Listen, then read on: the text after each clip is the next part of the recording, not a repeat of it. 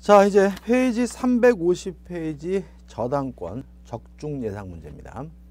1번 특, 법률상 특별한 규정이나 당사자 사이에 다른 역정이 없는 경우 저당권이 미치는 것을 모두 고른 것은이죠. 일단 저당권은 부합물에도 미치고 종물에도 미칩니다. 만약에 부합이 되거나 종물이라면 저당권 설정 전이든 후이든 따지지 않거든요. 따뜻 기억. 저당권 설정 이전에 저당 부동산의 종물로서 분리 반출되지 않은 것, 종물 저당권에게 미치고요. 니은번 저당권 설정 이후에 저당 부동산의 부합물로서 분리 반출된 것, 부합물 저당권에게 미칩니다. 다시 말하면 종물이거나 부합물이라면 저당권 설정 전후를 따지지는 않습니다. 자, 디귿은 아닌데 왜 그러냐면 저당권자는 과실수취권이 없습니다. 만약에 과실수취하려면 압류를 해야 되고요. 압류 이후의 과실에 대해서 저당권력이 미치는 거고요. 압류 이전의 과실에 대해서는 저당권력이 미치지 않으므로 디귿번 저당 부동산에 대한 압류 이전에 저당 부동산으로부터 발생한 저당권 설정자의 참채권은 저당권력이 미치지 않고요. 답은 2번입니다. 2번입니다. 갑은 그 소유 나대지의 을에 대한 채무 담보를 위해 을 명의로 저당권을 설정하였다.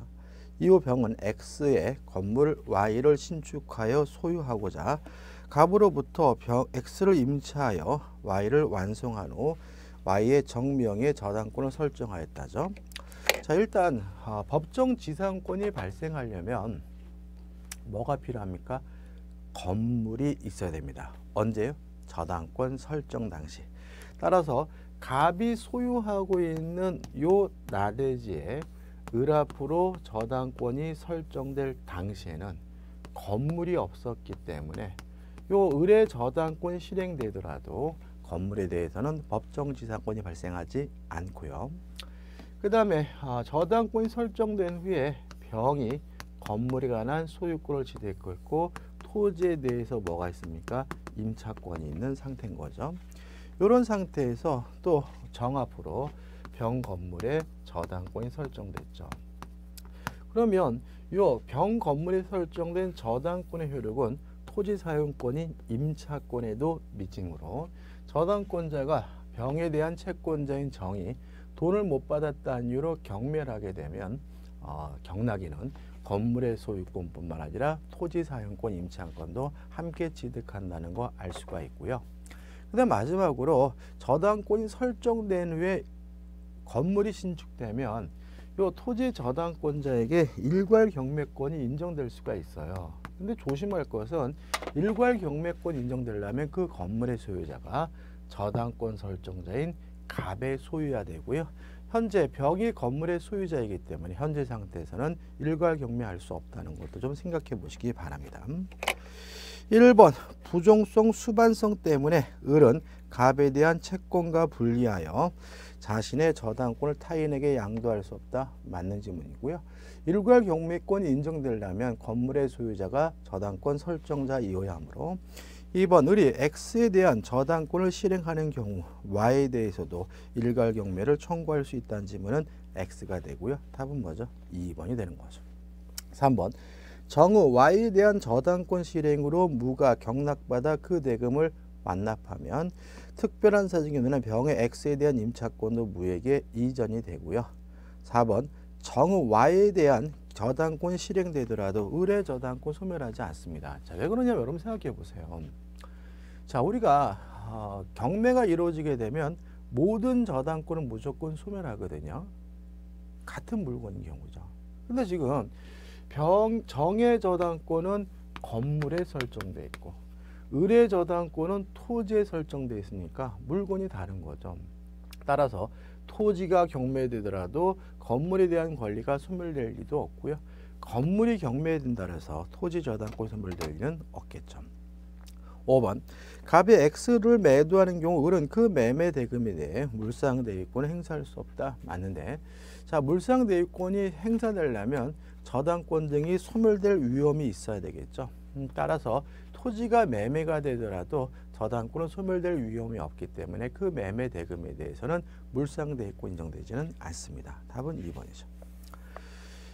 13번입니다. 저당권에 대한 설명으로 옳은 것을 찾으라고 하는데 1번 토지를 목적으로 저당권을 설정한 후 그 설정자가 그 토지의 건물을 축조한 때에는 그러면 건물이 아, 저당권이 설정될 당시에는 건물이 없었기 때문에 법정 지상권이 발생하지 않고 일괄 경매권이 문제되겠죠. 물론 지문상 그 설정자가 건물의 소유자니까 일괄 경매할 수 있고 일괄 경매하더라도 토지 대금에서만 우선 변제 받을 수 있기 때문에 저당권자는 토지와 함께 그 건물에 대하여 경매를 청구해까지 맞는데 건물의 경매 대가에 대해서도 우선 변제 받을 수 있다는 지면은 X가 되는 거죠.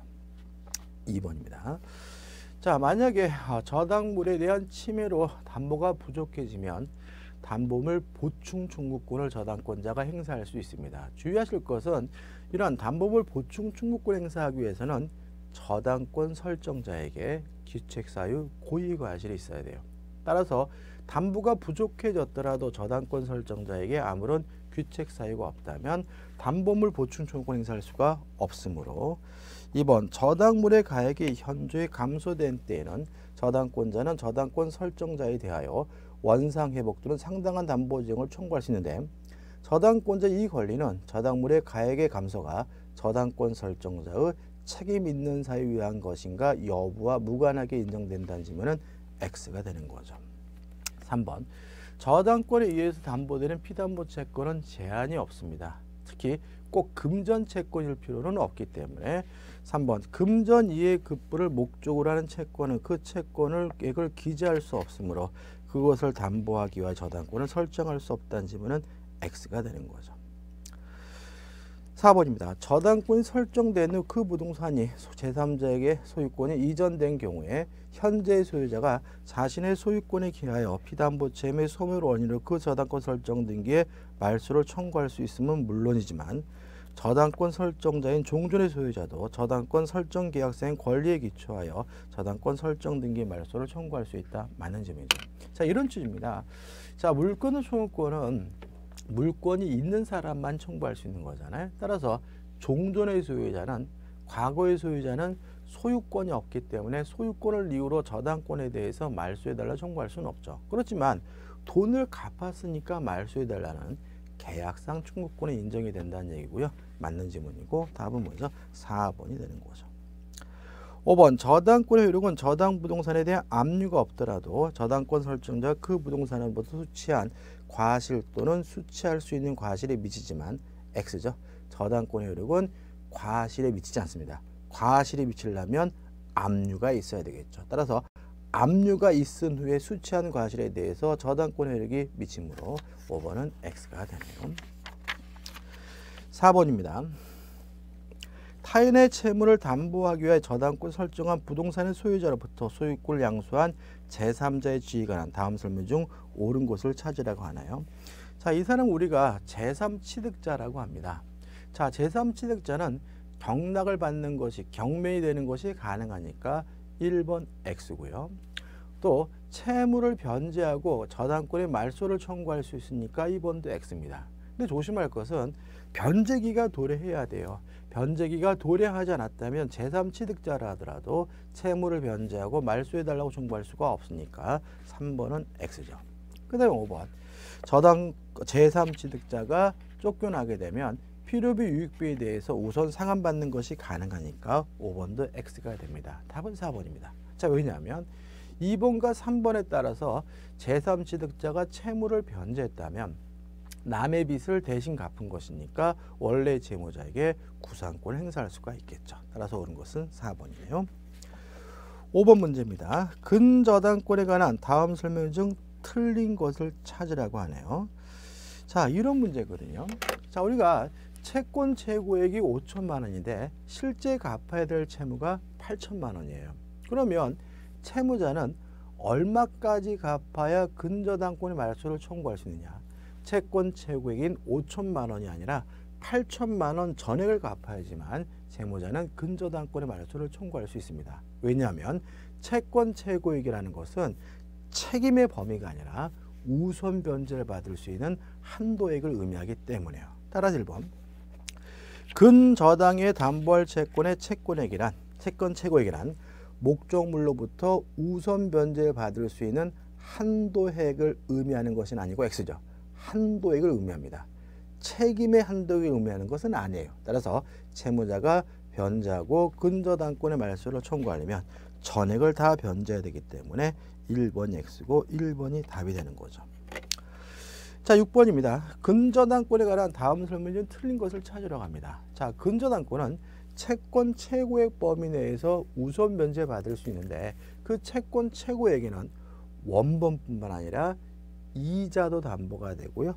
또 지연 배상금도 1년분에 하나지 않고 채권 최고액 범위 내라면 담보가 됩니다.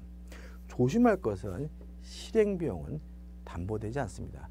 실행 비용은 따로 계산해야 될 돈이지 채권 최고액에 포함시킬 수 없다는 것이 우리 판례 입장이기 때문에 5번 근저당으로 담보되는 채권 최고액에는 근저당의 지연 손해에 대한 배상 요거는 포함됩니다. 1년 후에 하나 지도 않고요.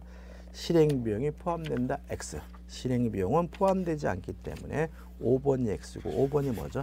답이 되는 것이죠. 7번입니다. 근저당권의 피담보 채권이 확정에 관 다음 판례 설명 중 틀린 것을 찾으라고 하네요.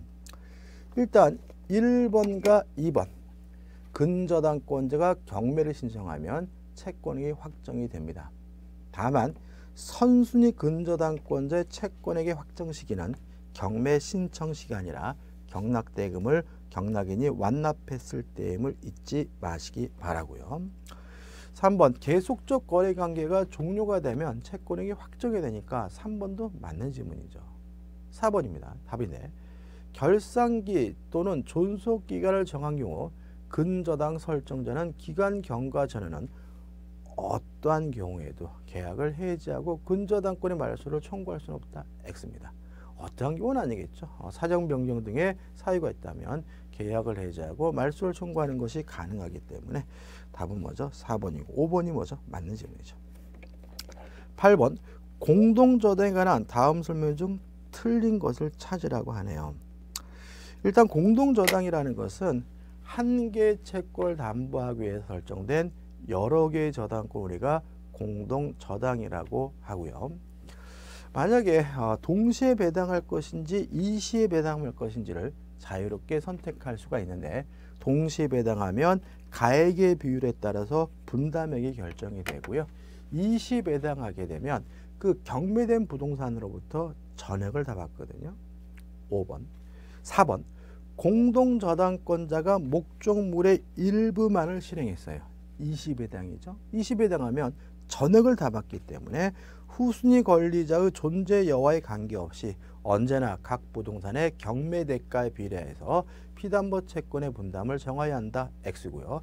요 4번 지문이 맞으려면 이시 배당이 아니라 동시 배당이라고 해야지만 맞음을 주의하시기 바랍니다.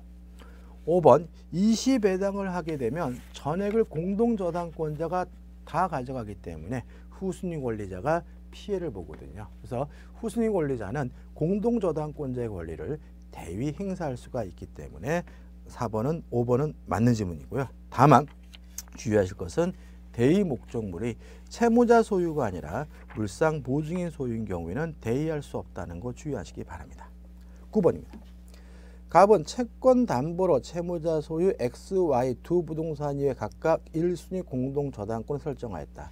X 부동산의 을이 Y 부동산의 병이 각각 후순위 저당권을 보유하고 있는 경우 갑의 저당권 신에 관한 다음 설명 중 틀린 것을 찾으라고 하네요. 자, 4번을 보시면 갑이 X 부동산을 면적 경매했어요. 20회당이죠. 그 매각대금 전액으로부터 채권을 만족받을 수 있고요. 이로써 변제받지 못한 나머지 채권은 다시 Y 부동산을 경매하여 우선 변제받을 수가 있는데 주의하실 것은 5번 위 사의 경우 을은 동시 배당하였다라면 갑이 받을 수 있었던 금액의 한도에서 Y 부동산의 매각 대금으로 병담으로 우선 변제 받을 수 있다 X입니다. 병보다 선순입니다. 왜냐하면 후순위 저당권자인 을은 갑의 권리를 대행사잖아요. 따라서 갑의 Y 부동산에 대한 권리를 대행사하기 때문에 갑은 1순위잖아요. 따라서 대의하게 되면 병보다 선순위로서 우선 면제받기 때문에 5번이 X고 5번이 답인 거죠. 10번입니다. 갑은 을로부터 1억 5천만 원을 차용하면서 자신의 ABC 부동산의 저당권을 설정하였다. 그 을은 갑이 채무를 변제하지 않자 위 부동산을 경매에 동시에 배당하였다.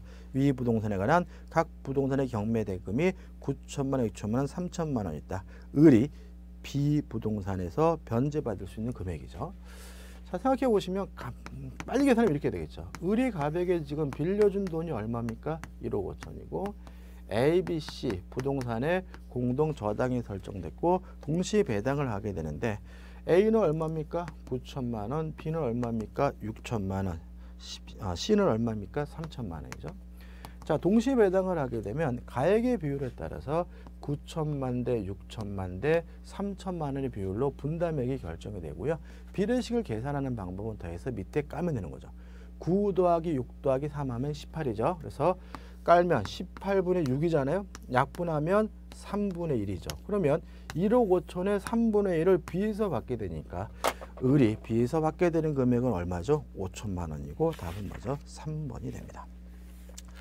자, 기출문제를 풀어보죠. 1번 저당권에 관한 설명으로 옳지 않은 것을 찾으라고 합니다. 3번이 답이죠. 저당권, 담보물권은 부종성, 수반성이 있으니까 채권 만 분리해서 양도하거나 담보로 설정할 수가 없으므로 답은 뭐죠? 3번이 되는 거죠. 2번 저당권에 관한 설명으로 옳지 않은 것을 찾으라고 하네요. 자, 물상대위권은 저당권이 소멸될 위험이 있을 때 인정이 되는 겁니다. 근데 저당 목적물이 매매가 되더라도 매매가 되더라도 저당권이 소멸될 위험이 없으므로 매매 대금에 대해서는 물상대위가 인정되지 않으므로 5번 저당 부동산의 매매로 인한 대금 청구권에 대해 물상대위는 인정된다는 질문은 X고요. 답은 뭐죠? 5번이 되는 거죠. 3번입니다. 옳지 않은 것을 찾습니다. 1번이 답이죠. 자, 왜 그러냐면 우리가 저당권 같은 물건을 취득하기 위해서는 등기를 해야 돼요. 그렇지만 그 물건이 존속하기 위해서 유지가 되기 위해서 등기를 등기가 필요한 것은 아니거든요. 따라서 그 등기가 불법으로 말소가 되더라도 물권은 뭐 되지 않냐면 소멸되지 않는 거죠. 불법으로 말소가 되더라도 물권은 소멸되지 않기 때문에 않기 때문에 말소 회복 등기를 청구하는 것이 가능하죠. 1번 저당권이 성립된 후 저당권 설정 등기가 불법으로 말소되면 저당권을 소멸한다는 질문은 X고요. 답은 뭐죠? 1번이 되는 거죠. 2번 저당권의 효력에 관한 설명으로 옳지 않은 것을 찾네요. 3번이 답이죠. 매매가 되더라도 저당권은 소멸될 위험이 없으므로 매매 대금에 대해서는 물상대위가 인정되지 않고요. 5번입니다. 갑은 을로부터 1억 원을 빌리면서 그 채무를 담보하기 위하여 자신 소유 X토지 1번 저당권을 설정해 주었다. 이에 관한 설명으로 옳은 것을 찾으라고 하네요. 자 일단 음, 나대지라는 점이 특징이 있네요. 1번 을이 위의 건물 신축을 방지하기 위하여 지상권을 설정했어요. 이 지상권 우리가 담보지상권이라고 하고요. 담보지상권도 가능하고도 유효합니다. 따라서 그 지상권은 무효이다. X가 되는 거죠. 2번 X토지 2번 저당권자인 A가 갑의 채무로 일부를 변제한 경우 A는 을의 저당권을 대위 행사할 수 없다. X입니다. 다시 말하면 채권자 대위라고 해서 대위 행사할 수가 있고요. 3번 을의 채권이 일부가 무효예요. 자, 불가불성이죠. 전액 변제할 때까지 저당권과 같은 담보물권은 목적물 전부에 효과가 미치거든요. 그래서 일부가 무효면 아직도 갚을 돈이 있다는 얘기고 갑은 유효한 유효인 부분의 채권에 대한 변제 없이도 저당권 등기의 말소를 청구할 수 있다는 질문은 X가 되는 거죠. 4번입니다. 자, 저당권이 설정된 후에 건물이 신축이 되면 일괄 경매권이 인정이 됩니다. 조심할 것은 누가 건물을 지었는지는 고려하지 않고요. 저당권 설정자 건물의 소유자라면 일괄 경매하는 것이 가능하다는 것이 우리 판례 입장이거든요. 따라서 4번 저당권 설정 후에 X 토지 임차인 B가 그 지상의 Y 건물을 신축하고 갑이 이를 매수했어요. 그러면 갑 저당권 설정자 건물의 소유자잖아요. 이때 일괄 경매 가능하잖아요. 따라서는 X 토지와 Y 건물에 대하여 일괄 경매를 청구할 수 있다는 질문은 맞는 질문이고요. 답은 뭐죠? 4번입니다. 5번은 X죠. 왜냐하면 지연 배상금은 1년분에 하나여 저당권에 의하여 담보가 되는 거죠. 6번입니다. 저당권에 관한 설명으로 옳은 것을 찾으라고 합니다. 저당권의 객체는 부동산과 지상권, 전세권입니다. 따라서 1번 지상권은 저당권의 목조로 하지 못한다. X. 2번 부종성 수반성이 있기 때문에 2번도 뭐죠? X가 되는 거죠. 3번입니다. 자, 물상 대위가 인정되기 위해서는 가치 변형물이 지급 또는 인도 전에 압류를 해야 돼요. 근데 그 압류를 꼭 저당권자가 해야 되느냐? 요 문제에 대해서 우리 판례는 저당권자가든 제3자가든 압류가 됐다면 물상대가 인정된다는 것이 우리 판례 입장이므로 3번 제3자가 저당 목적물의 변형물을 이미 압류한 경우 저당권자는 스스로 압류하지 않더라도 물상대이권을 행사할 수 있다는 질문은 맞는 질문이고요. 답은 뭐죠? 3번이 되는 거죠. 4번 저당권이 설정된 후에 지상권을 취득한 사람은 제3취득자고 변자고 저당권 소멸을 청구하는 것이 가능하기 때문에 4번은 뭐죠? X가 되고요. 5번 근저당권의 피담보 채권의 확정 전에 발생한 원본 채권에 관하여 확정하에 발생한 이전화 지연 손해금 채권은 그 근저당권에 의해서 담보가 됩니다. 따라서 채권 최고액 범위 내에 있더라도 그 근저당권에 의하여 담보되지 않는다는 질문은 X가 되는 거죠. 답은 뭐죠? 3번입니다. 7번입니다. 자, 근저당권이 성립되려면 반드시 기재되어야 될 사항은 채권 최고액입니다. 채권 최고액이 정해지고 채권 최고액이 등기돼야 근저당권이 성립되기 때문에 1번 저당권과 달리 근저당권은 채권 최고액을 정하여 등기하여야 한다. 맞는 질문이고요. 답은 뭐죠? 1번이 되는 거죠. 2번 채권 최고액에 이자 포함되고요. 그 다음에 3번 채권이 확정된 후에는 새롭게 발생하는 원본 채권은 더 이상 근저당권에 의해서 발생 담보되지는 않지만 확정 전에 원본 채권에 대한 이자 채권이나 시험 배상금은 근저당권에 의해서 담보가 되기 때문에 3번은 뭐죠? X가 되고요. 4번 계속적 거래 관계가 지속 중이라면 일부 채권이 양도되더라도 근저당권은 수반되지 않기 때문에 4번도 X가 되고요. 그 다음에 5번 실제 갚아야 될 돈이 채권 최고액을 초과하는 경우에는 물상보증인이나 제3취득자는 채권 최고액 범위 내에서 변제하면 근저당권의 말소를 청구할 수 있지만 채무자는 전액을 다 갚아야지만 근저당권의 말소를 청구할 수 있으므로 5번도 X가 됩니다. 8번입니다. 갑은 X 토지와 그 지상에 Y 건물을 소유하고 있으며 그 중에서 Y 건물 을에게 매도하고 을 명의로 소유권 이전 등을 맞춰 주었다. 그 병은 을의 채권자 신청한 강제 경매에 의해 Y 건물의 소유권을 취득하였다.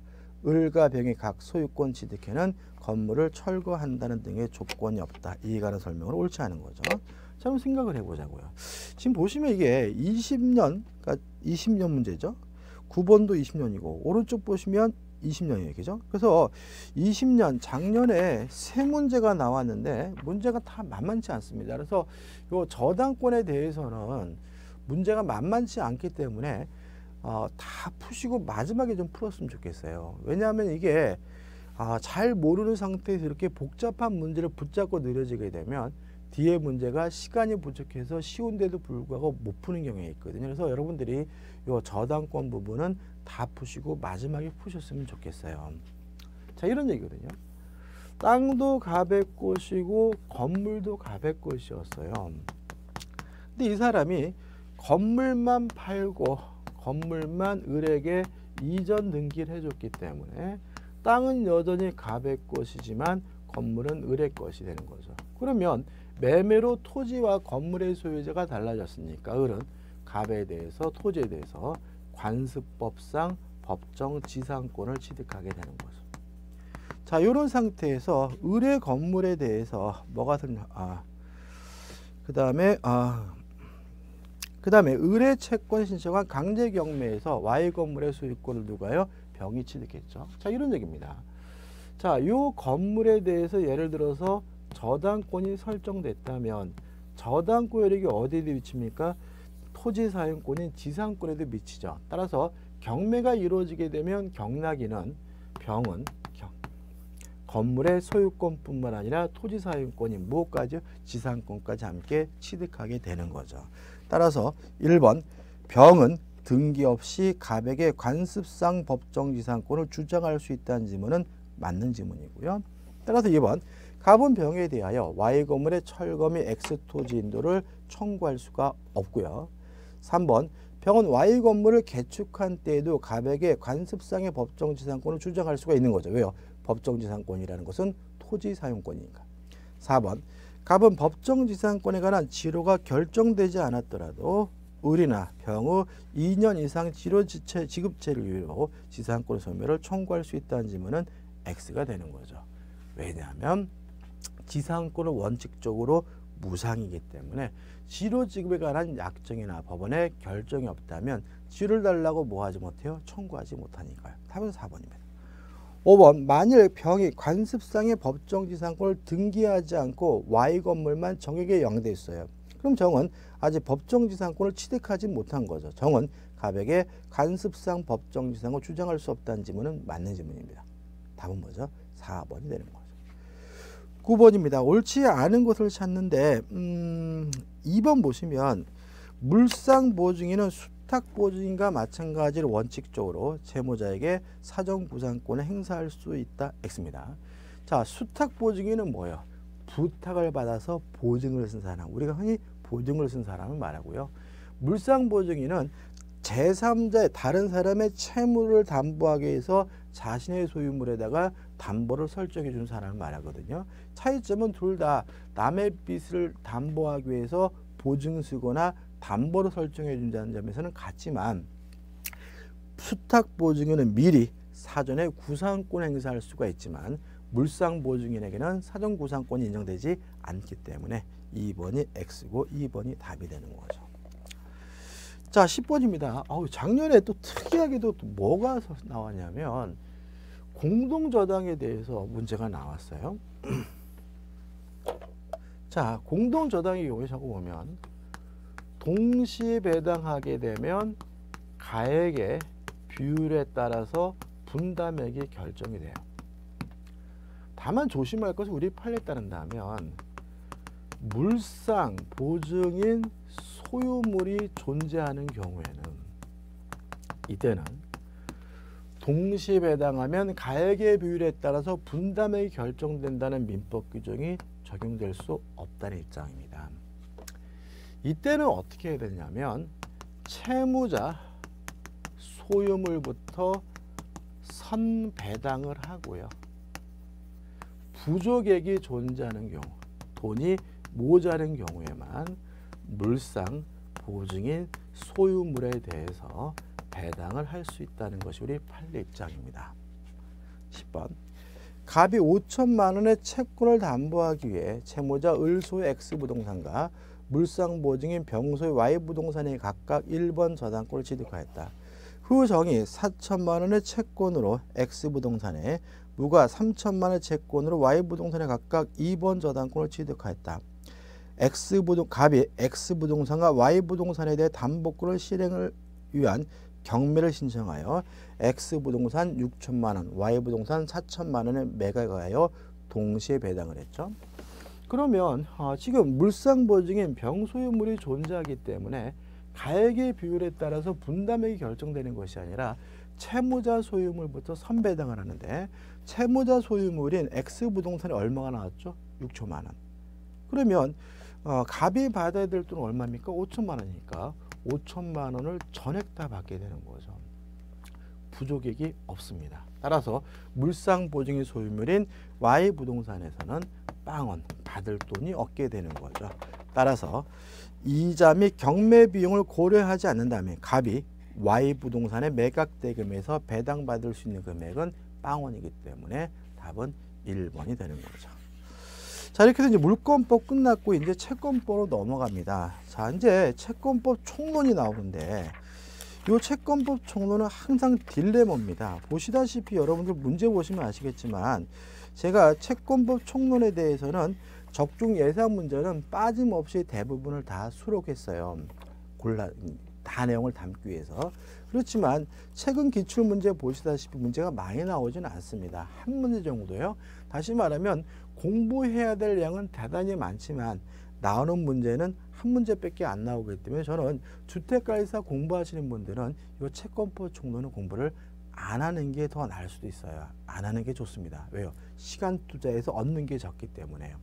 그래서 저도 이 적중 예산 문제도 다음 강의에서는 채권법 강론으로 갑니다. 채권법 강론으로 가가지고 다 푼 후에 마지막에 이 채권법 총론에 관한 최근 기출 문제만 풀어드릴. 그래서 다음 강의에서는 채권법 강론으로 간다는 거 미리 말씀을 드립니다. 자, 다음 강의에서 채권법 강론으로 가겠습니다.